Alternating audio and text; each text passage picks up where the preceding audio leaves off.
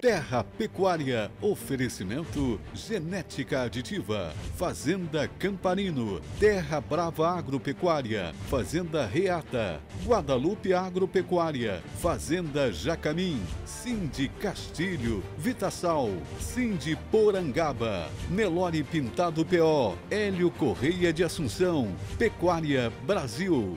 É quinta-feira, minha gente, dia 29 de outubro e, claro, mais o programa Terra Pecuária no ar. E para começar este bloco, vamos conferir uma matéria com a nossa repórter Isa Borges, falando dos preparativos para o primeiro leilão de reprodutores Agrozeb, que começa daqui a pouquinho.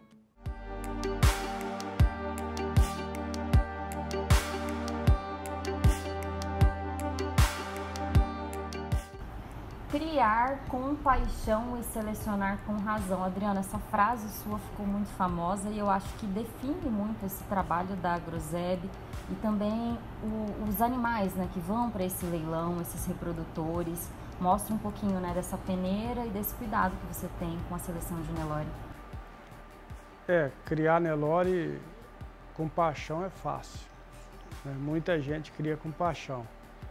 Agora, selecionar com a razão, a gente tem que abdicar um pouco da paixão e olhar mais com um olhar mais cético e um olhar de realmente melhorar. E, e o Nelore está precisando disso. Eu falo isso muito para vários criadores, né, porque a gente tem o lado técnico também e a gente acaba ficando dos dois lados. Né? E eu procuro botar isso à risca na prática. E esse seu lado técnico, eu acho que ele agrega ainda mais e traz, acho que, mais confiança para as pessoas, né? Porque você já tem esse olhar aguçado, assim, né? Para a identificação de animais melhoradores. Agrega, ajuda bastante, o criador confia no trabalho da gente. Por outro lado, traz uma responsabilidade maior. Então, acha que a gente, como técnico, às vezes tem a fórmula mágica. E Nelore não tem fórmula mágica, né? Ele ensina a gente no dia a dia. Todo dia a gente aprende com o gado. A gente está aqui junto com a Angeliana, com o Dudu. A gente vê que é um, realmente um, uma coisa que envolve a família, né? Essa criação de Nelore. São 20 anos aí dessa história de agrozeb. Era para ser um pouquinho mais, né? É, era para ser um pouco mais, mas devido a alguma a fatalidade da vida, né? Eu tive um acidente e, e depois desse acidente eu fui obrigado a dar uma parada. Né? É, até eu me readaptar à, à minha nova forma de viver, a nova forma de lidar com as coisas, a minha teimosia de voltar para o campo, de voltar a exercer a profissão, de voltar a criar, né? até nós ficamos um, um tempo parado. Mas deu tudo certo, voltamos, a teimosia valeu a pena. Estamos aqui agora fazendo o primeiro leilão solo, né? É, com alguns convidados, amigos nossos que faz, fazem parte dessa história. E isso deixa a gente assim bastante orgulhoso de trilhar uma história de, posso dizer que até aqui, de bastante sucesso. Que chegar onde a gente chegou com todas as diversidades, valeu a pena, está valendo a pena. E o Dudu já como acho que um sucessor aí, né, Dudu? Como que é acompanhar seu pai aí na lida? Ah, eu comecei bem tarde a começar a acompanhar ele durante a, o caminho, mas pretendo continuar mais vezes acompanhando. É bom que sempre aprendo mais com ele sobre como funciona, que meu conhecimento ainda é muito raso em relação a isso. É sempre bom, é bom também ter a companhia do pai, né? Mas tá no sangue, né, o gosto, né? É, tá no sangue, velho. Falando agora mais especificamente do leilão, vão ser aí 100 reprodutores, Adriano. Você também vai ter aí sete convidados no remate. Então, o que vocês estão preparando para ofertar ao mercado? Olha, a qualidade surpreendeu a gente. Né? Quando nós começamos o trabalho de aparte, o trabalho de selecionando os animais para participar do leilão, a qualidade foi aflorando e realmente impressionou a gente. Então nós vamos ter aí uns, uns 10, 12 animais de repasse. É, fantástico. para qualquer tipo de plantel no Brasil, para os mais exigentes, é, cabe esses animais. Nós estamos trabalhando aí, nós estamos com dois a três touros aí praticamente contratados por central de inseminação. É, e esses touros vão a leilão também. Eu não podia tirar, né? Não, não, não estou reservando nada dessa safra. É até um erro da gente, né? Mas é, não podia reservar nada dessa safra. Estação de monta em tempo, então assim, o que, que os criadores vão ter aí nesse sentido de variabilidade? Olha, a gente faz um trabalho buscando o equilíbrio. Eu, até pelo meu lado técnico e também como lado criador, a gente não tem uma busca cega pelos números, pela avaliação genética somente. Por outro lado, eu uso na inseminação artificial os touros de, de boa avaliação genética e o meu repasse eu faço com os touros de, de muita raça. Então eu vou equilibrando o rebanho, nem para um lado nem para outro. Convido a todos para dia 29 do 10, leilão Reprodutores Agrozeb, às 20h30, horário de Brasília, programa Leilões, conto com a audiência de vocês.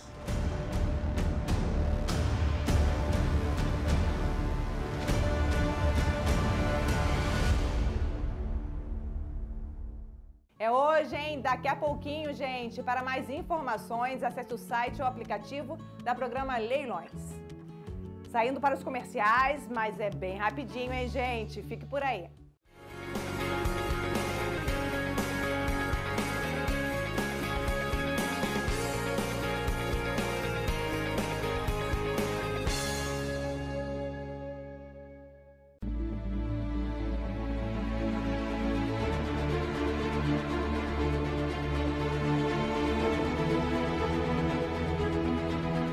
Cindy Castilho, fonte genética do melhoramento da raça na carne e leite. Você está assistindo Terra Pecuária, o melhor do campo na sua TV.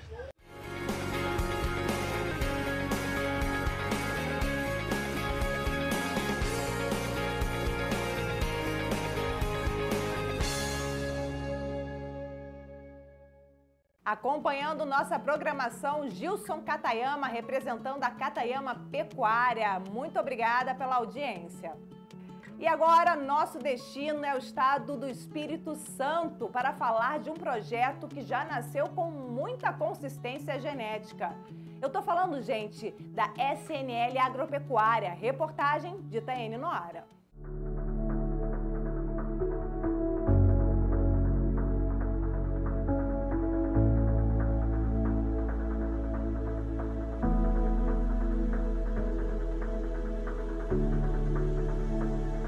A SNL Agropecuária vem seguindo uma linha crescente dentro da pecuária nacional. Para alguns pode ser surpreendente, mas para nós que estamos desde o início acompanhando o projeto da SNL, é algo que já seria natural, já que o Beraldo sempre investiu em base genética, em qualidade, em uma equipe eficiente que conhece o que está fazendo, então o sucesso seria tranquilamente uma consequência. Vocês vêm acompanhando ao longo dos meses toda essa qualidade e todo esse reconhecimento que a SNL vem colhendo.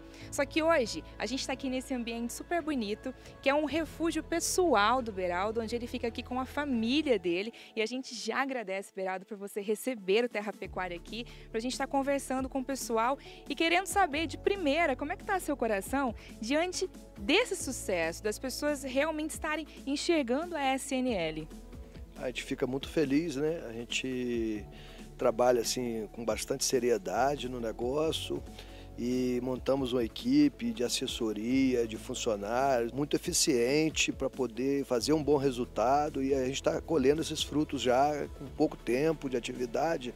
Então isso aí nos traz assim uma alegria muito grande porque a gente tem paixão pelo Nelore. E o caminho certo é uma junção de trabalho bem feito, inteligência empreendedora e uma pitada de tranquilidade emocional. Por aqui, Beraldo encontra essa tranquilidade no envolvimento de toda a família na pecuária. O Nelore ele mexe com você como no todo. Você não consegue é, separar o Nelore da sua vida familiar. O interessante é que a gente vê o pessoal começar a ficar empolgado também com negócios e também tá, traz bastante satisfação. A esposa convive muito no dia a dia e aí assim todo mundo, as filhas, os genros, todo mundo participa porque é um negócio que está no dia a dia, né? Então não tem jeito, né? E os acontecimentos não param na SNL, nem a produção, nem o crescimento e o trabalho que vocês têm desenvolvido nas fazendas, né, Lucas? Agora, com outra base, com outra fazenda na cidade de Mimoso. Conta um pouquinho pra gente sobre o projeto de pecuária que está acontecendo por lá. Bom, agora Beraldo decidiu investir na, na tecnologia que tem de FIV. A gente está investindo pesado nesse ramo, estamos começando esse ano com 300, finalizar o ano com 600 prenheses e para um projeto de mil prenhes ano para ano que vem. Então, realmente está investindo tudo tendo melhor do mercado, a infraestrutura da fazenda, ele está fazendo da melhor maneira para poder, poder atender o manejo. O Brasil já percebeu todo o capricho desse criatório. Já viu que por aqui tudo é trabalhado com a melhor estrutura e amparado por uma base muito sólida e de qualidade. O que a gente quer no início de dezembro de 2020 já trabalhar com essas presas no nosso leilão, nesse lugar aqui que eu estou te apresentando aqui. Já fica o convite de antemão para todos os meus amigos aí, pecuaristas aí, que são parceiros, para poder a gente trazer para cá, a gente trazer a família, passar um fim de semana na região serrana aqui do Espírito Santo, na região de Pedra Azul, que é maravilhosa, para poder passar esse final de semana com a gente aqui dona Nilza, junto com o esposo dela, seu Adelino, são as pessoas responsáveis por cuidar desse local todo e ela tem um recadinho para deixar para vocês. Eu cuido desse espaço, vou continuar sempre cuidando para receber vocês. E para encerrar essa matéria, falando de tanta coisa boa, num lugar tão bonito, com tanta energia legal, ainda mais num espaço como esse, acho que nada mais justo do que agradecer, né, Beraldo?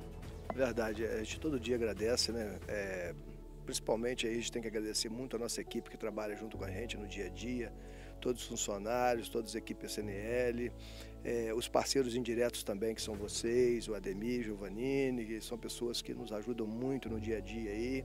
Agradecer a Deus principalmente, que a gente, é, sempre eu falo, a gente, tem, a gente acha que tem sempre mais do que merece. A gente é muito agradecido aí, realmente e pede a Deus todo dia para nos botar nos caminhos bons, de boas amizades, igual a gente está fazendo aí. Ó.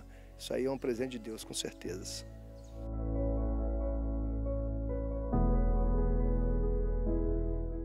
Parabéns, família SNL Agropecuária, Beraldo Rentse e todos os envolvidos. É esse comprometimento com a raça que faz a diferença. E antes de fechar essa edição, te convido para conhecer um pouco mais do touro REM F22 da genética aditiva. Roda o VT. O REN F22 foi destaque absoluto dentro da safra 2015 da genética aditiva porque ele foi o número 1 um do intra-rebanho, sendo acima da média para todas as características avaliadas, como peso, perímetro escrotal e as avaliações de carcaça, fora uh, ele deu semi-precoce, então um touro muito completo. Ele é filho do armador em vaca backup, trazendo bastante consistência em sua genealogia e sua regra de DEP é bem equilibrada, alinhando peso em todas as fases da vida, é, área de olho longo está correlacionado com rendimento de carcaça, acabamento que está correlacionado com precocidade sexual, fertilidade, que tem ability muito alto, precocidade sexual via 3P e fertilidade aí para perímetro escrotal no macho. Então um touro bem completo, um touro que sem dúvida nenhuma vai fazer muito pela pecuária nacional. No site da Genética Aditiva você conhece os mais de 70 touros que estão em centrais de inseminação. Corre lá! Chegamos ao fim de mais uma edição do programa Terra Pecuária. Muito obrigada pela audiência e já sabe, né? Eu te espero amanhã às 19h15 de Brasília. Encontro marcadíssimo. Beijo grande, até lá!